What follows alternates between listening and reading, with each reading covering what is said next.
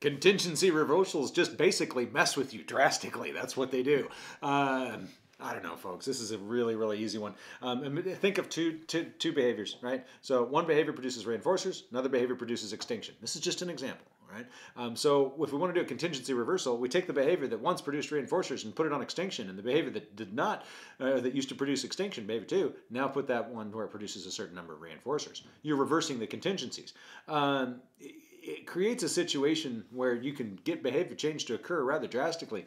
Um, sometimes quickly, sometimes not, based on the learning history of the organism, uh, based on the behavioral momentum, so on and so forth. But basically, it's just it's a it's a bugger. It, it can it can wow, it can hurt. Uh, you'll understand when you go through it some days. Like that was always working, and now it doesn't, and what didn't work in the past now does.